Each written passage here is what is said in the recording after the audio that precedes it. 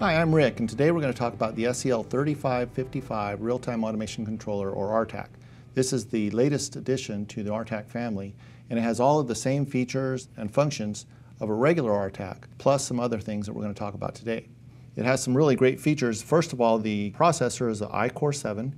You can get it in dual core or quad core. Comes with 8 gigabytes of RAM. Cooling fins, which you want to keep clear when you're installing the unit. SSD drives or solid state drives, which are in the front, and also USB ports in the front. To configure this, normally on an RTAC you would hook up a USB cable to it and then hook up the USB cable to your PC and open a, a web interface so that you can connect to it. But on this unit, we can do it locally. So I have a monitor here that I'm connecting to a DVI connector here in the back. There's DVI and there's also a display port. So with adapters, you can use HDMI or you can use the VGA cable. I'm going to use a wireless mouse and a wireless keyboard. You can use a wired one also.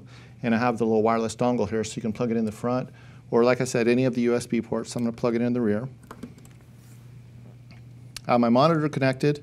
I have my mouse and keyboard connected. I apply power to the unit on one of the load sharing power supplies.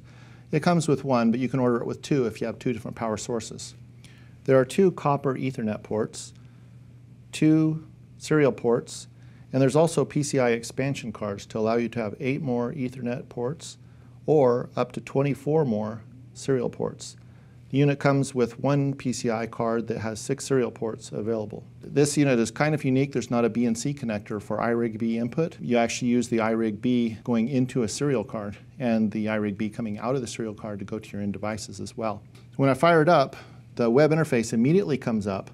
I can create an account just like normal, like I cover in the other RTAC videos. And here I can set up the user account information, I can set up the interface information for the, the IP addresses and things like that. And all of that information is contained in the manual. Also, there's a really cool feature that if I have an HMI on here that I've loaded using Diagram Builder software, I can just click on this HMI and have it up all the time. There in the substation or, or wherever it's installed.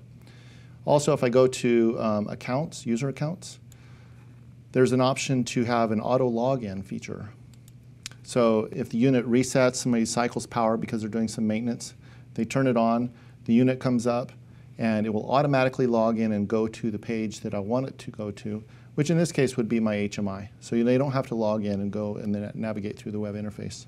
And that's pretty much it for the SEL3555. All the other, the configuration of the project is done in ACSELERATOR RTAC like a normal RTAC.